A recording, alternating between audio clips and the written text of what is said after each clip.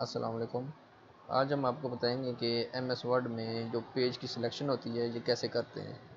अक्सर बंदों को पता नहीं होता कि जो ए फोर साइज़ का जो पेज है, वो इस तरफ़ से कुछ मार्जिन ज़्यादा रख लेते हैं, यहाँ से कुछ मार्जिन कम हो जाता है। जब हम प्रिंट आउट करते हैं तो उसमें ये इतना सा गैप जो है, ये आ जाता है।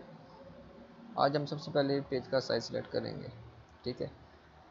हमने सबसे पहले इस पेज लेआउट पे जाना है। ये आपने मार्जिन देखा होगा। मार्जिन पे हमने क्लिक नहीं करना, ना ओरिएंटल शेप पे क्लिक करना। हमने साइज़ पे जाना है।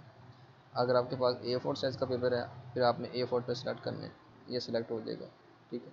फिर हमने आपने यहाँ से इसके मार्जिन को सिलेक्ट कर देने मैनुअली ठीक है? मैनुअली भी आप कर सकते हैं, उसके बाद आप ऑटोमेटिकली जाके कर सकते हैं इसकी सेटिंग में से जाके।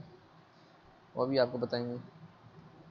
लेकिन आपने नीचे में से थोड़ा थोड़ा सा हिस्सा छोड़ देंगे, ठीक है? साइज़ में जाएँगे, आप मोर साइज़ पेपर पे जाएँ, ठीक है?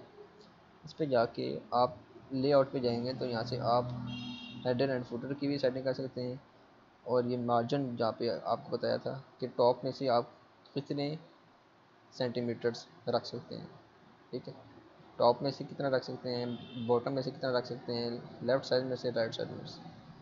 अभी आप ये चूज़ करेंगे अपने डॉक्यूमेंट पोर्ट्रेट में रखना है या लैंडस्केप में रखना है? पोर्ट्रेट में करेंगे तो आपका पोर्ट्रेट में निकलेगा। अगर आपने लैंडस्केप में काम करना है तो लैंडस्केप में निकलेगा। पोर्ट्रेट में रख लेते हैं। ओके कर दें? आपसे इसको फिक्स कर दें। ठीक है। या कैंसिल कर दें बेशक लेकिन ये मैनुअली साइज़ सेलेक्ट हो गया। अभी जो है, आपने किसी पैराग्राफ पे काम करना है, इसको थोड़ा सा नीचे कर दें। तो आपने एक शॉर्टकट की दबानी है। Is equal to R A N D shift दबा के ब्रैकेट स्टार्ट ब्रैकेट क्लोज ठीक है? इस पर आके आपने इंटर कर देना है। ये कुछ बना बनाया सा टैबलेट आपके सामने आ जाएगा। इसको आप, इस पर आप कुछ भी काम कर सकते हैं मतलब कि प्रैक्टिकल के लिए। इस पर हम गए या हमने इसका इसका कुछ हमने नाम दे दिया। The king of jungle. ठीक है?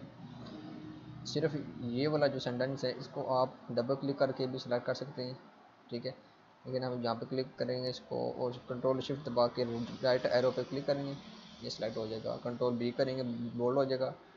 कंट्रोल आई करेंगे इटैलिक इटैलिक हो जाएगा। कंट्रोल शिफ्ट ग्रेटर देन करेंगे, इसका साइज़ बड़ा हो जाएगा। कंट्रोल शिफ्ट लोवेस्ट देन करेंगे तो साइज़ छोटा हो जाएगा। डिज़ाइन करें इसको कंट्रोल सेंट्रलाइज करें। ई e से होगा कंट्रोल ई e से। होम पेज में जाके आप इसमें अंडरलाइन भी कर सकते हैं। अंडरलाइन के लिए शॉर्टकट की कंट्रोल आई भी है। कंट्रोल सॉरी यू भी है। ठीक है। इसके बाद आप मैनुअली ऐसे इसका साइज़ बड़ा कर सकते हैं, छोटा कर सकते हैं। इसका जो फ़ॉन्ट साइज़ है वो भी चेंज कर सकते हैं। ठीक है। इसके बाद इसको यहाँ से भी आप सेंट्रलाइज लेफ़्ट राइट कर सकते हैं। इसको आप जस्टिफाई कर सकते हैं। और मज़ीद ये है कि आप, ये जो पैराग्राफ है, इसकी सेटिंग कुछ ये यहाँ पे आप देख लें कि आगे पीछे हुई है। आप इसको जस्टिफाई कर सकते हैं, वो कैसे? इसकी शॉर्टकट की कंट्रोल जे भी है। ये जस्टिफाई हो गया। ठीक है? इसको कंट्रोल जे दोबारा करें, फिर आप यहाँ से जाके इसको जस्टिफाई कर सकते हैं। ठीक है? अब ये नॉर्मल आपके काम के लिए यूज़ हो गई है। ठीक है? इसका फ़ोन का साइज़ बड़ा कर दें ताकि जब आप इसका प्रिंट आउट निकालेंगे, तब ये सही तरह पढ़ने के काबिल हो जाए। कम से कम इसका फ़ॉन्ट साइज़ 14 होना चाहिए। यहाँ से आप जो कि देख रहे हैं कि ये हो सकता है कि प्रिंट आउट में से थोड़ी सी पट्टिंग हो जाए इसको हम यहाँ से थोड़ा थोड़ा इधर कर दें।